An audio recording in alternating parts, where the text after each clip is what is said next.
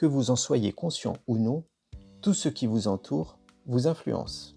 En cours, j'enseigne l'influence de chaque instrument de musique, qu'il soit ancien comme une harpe ou plus moderne comme une guitare électrique, sur le corps, les organes, les membranes, les dantiennes, les méridiens et euh, d'autres choses, puisque le corps ne s'arrête pas à la peau. il n'y a rien de mieux comme exercice pour comprendre l'influence des sons, qu'on en soit conscient ou non. J'utilise souvent la musique dans mes cours, que ce soit de la musique classique, du métal, des choses plus traditionnelles, mais c'est pour un objectif bien précis qui va avec le cours que j'ai préparé. Par contre, en soi, je ne me laisse pas influencer par ce qui m'entoure, que ce soit de la musique, les émotions de la personne, son discours. Et je rencontre beaucoup de praticiens qui mettent de la musique pendant leurs soins. Quand je leur demande pourquoi, ce qui revient le plus souvent, c'est pour détendre le consultant. Et où ça me permet de me calmer et de me détendre.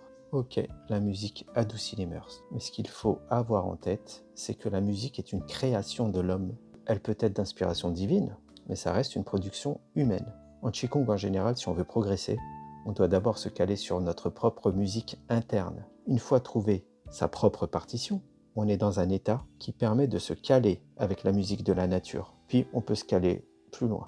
Et se caler sur la musique de l'homme, avec un grand H, met notre attention à l'extérieur et nous éloigne de notre propre musique. J'entends aussi dire que la musique nous permet de se détendre pour mieux accéder à notre musique interne. Pourquoi pas? Mais quand vient le soin, il est du devoir de se caler aussi sur la partition de la personne qui vient vous voir. Et là encore, s'il y a de la musique, ça éloigne le praticien de l'écoute de son consultant. Et du côté du consultant, ça peut être aussi contre-productif. D'abord, qui vous dit que la musique que vous allez lui proposer va le détendre et pas l'agacer? Et celles et ceux que ça agace ne le diront pas forcément, puisqu'ils vont se dire que peut-être que le praticien a besoin de cette musique pour le détendre. il va faire n'importe quoi. Et là, on en revient encore à la confiance. Au final, il ne sera pas détendu. Un soin, c'est un travail à deux.